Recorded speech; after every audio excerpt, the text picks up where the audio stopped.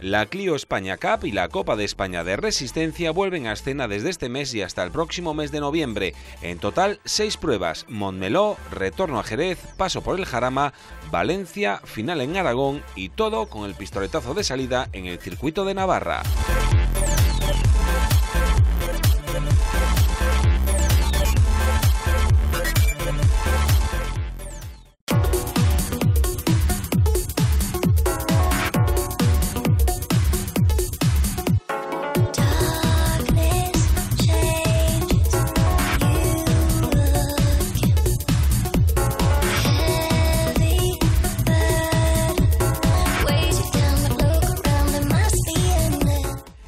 Clio Cup, el paddock del circuito navarro se llenaba desde la jornada del viernes para dar paso el sábado a los primeros entrenamientos.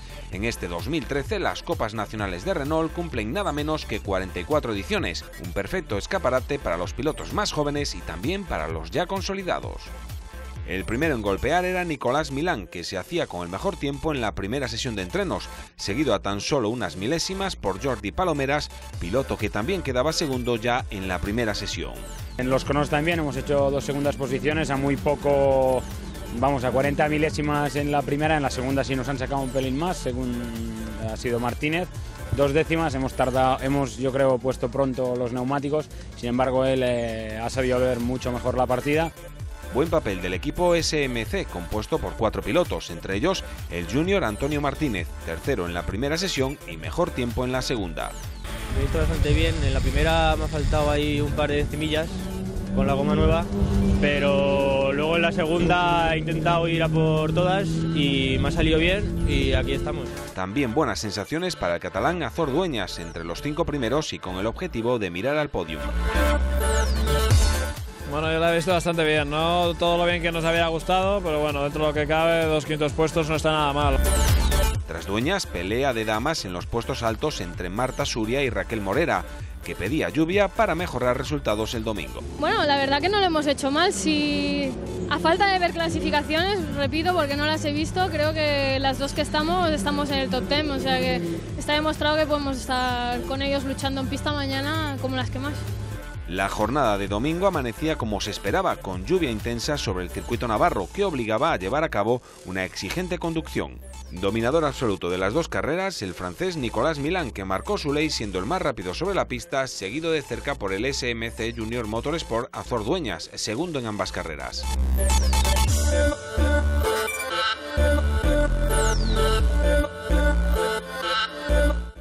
Que no tuvo nada de suerte en la pista fue Antonio Martínez. En la primera tanda apenas pudo completar una vuelta y en la segunda, que salía con la pole, acababa sufriendo un pinchazo. Jordi Palomeras era otro de los destacados, complicada su primera carrera, aunque finalmente acababa anotándose un cuarto puesto. En la segunda acababa tercero tras una dura pugna con Azor Dueñas. Segunda, sí, la segunda está un pelín mejor, hemos terminado terceros, salíamos segundos. Eh, realmente esperábamos un poco más este fin de semana, ¿no? Esperábamos al menos estar entre los dos, tres primeros, hemos conseguido uno de los dos objetivos. En féminas, igualdad entre Marta Suria y Raquel Morera, octava y novena posición en la primera tanda y undécima y duodécima en la segunda.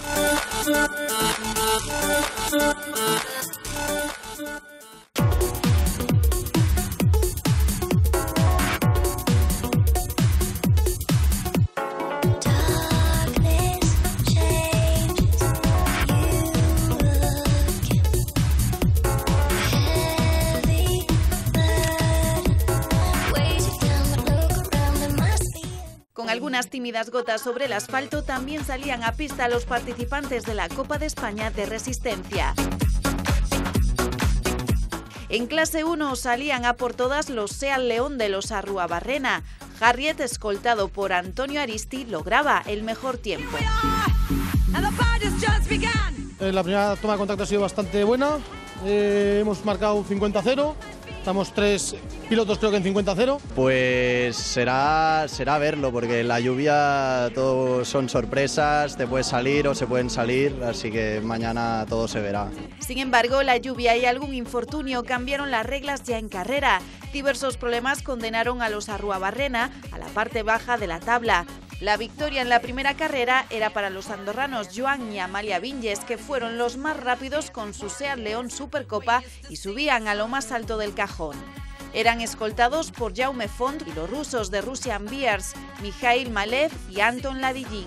Ya en la segunda manga sería Jaume Font el que marcaría su propia ley liderando siempre el ritmo de cabeza. Los Vinges acabarían esta vez terceros. La segunda posición sería para el Volkswagen de Alan Sicar y Álvaro Fontes.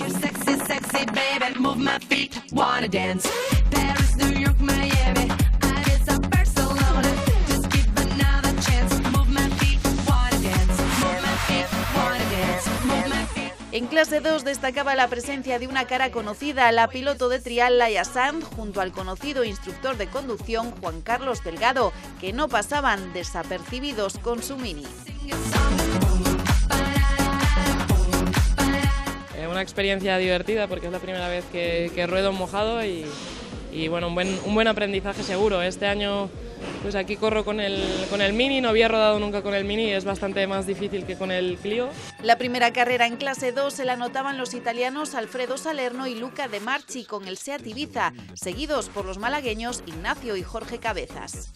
El duelo se repetía en la segunda carrera, pero en esta ocasión codo con codo por la segunda posición, porque la primera parecía estar destinada para Pablo Martín y un omnipresente en la jornada del domingo, Azor Dueñas, pero a falta de apenas una vuelta, el piloto catalán un error que le costaba la victoria. Vencían, por tanto, de nuevo los italianos Alfredo Salerno y Luca Di Marchi.